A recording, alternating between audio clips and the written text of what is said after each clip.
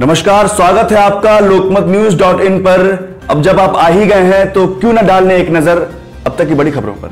CBSE paper leak मामले में केंद्रीय बोर्ड ने एक बहुत बड़ा फैसला लिया है।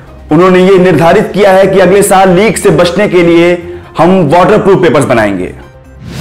और जो सबसे बड़ी खबर आ रही है, उसके लिए हम सीधा रुख करेंगे लाल किले पर।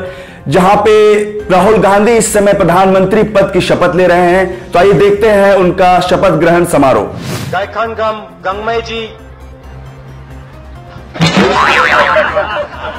हिंदू बनेगा ना मुसलमान बनेगा। हिंदू बनेगा ना मुसलमान बनेगा।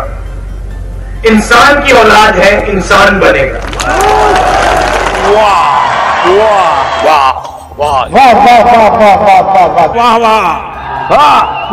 क्या कमाल का काम किया देखो क्या कमाल का काम किया वाह वाह वाह वाह वाह चलो खत्म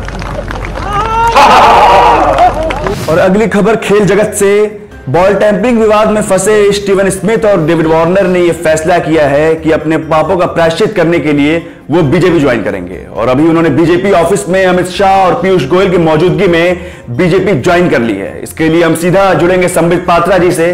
उनसे जानेंगे कि इस पर उनका क्या कहना है। चाहे चलचित्र में हो चाहे जीवन के किसी भी पहलू में कोई कार्यकर्ता हो हर कोई आदरणीय है। भारतीय जनता पार्टी हर किसी का सम्मान करती है। भाजपा एक वॉशिंग मशीन है इधर से डालिए उधर से सदाचारी बन करके निकल जाता है। एक सबसे बड़ी खबर आ रही है, जिसका सीधा संबंध आपकी ज़िंदगी से है। जी हाँ, भारतीय जनता पार्टी ने ट्वीट करके जानकारी दी है कि शाम तक वो पंद्रह लाख रुपए सबके अकाउंट में, हर भारतवासी के अकाउंट में भेजेगी। उसके लिए आपको कुछ नहीं करना है, सिर्फ़ अपना आधार कार्ड लेके बीजेपी ऑफ़िस पहुँचना है शाम पाँच बजे तक। अच्छे दिन अच्छे दिन।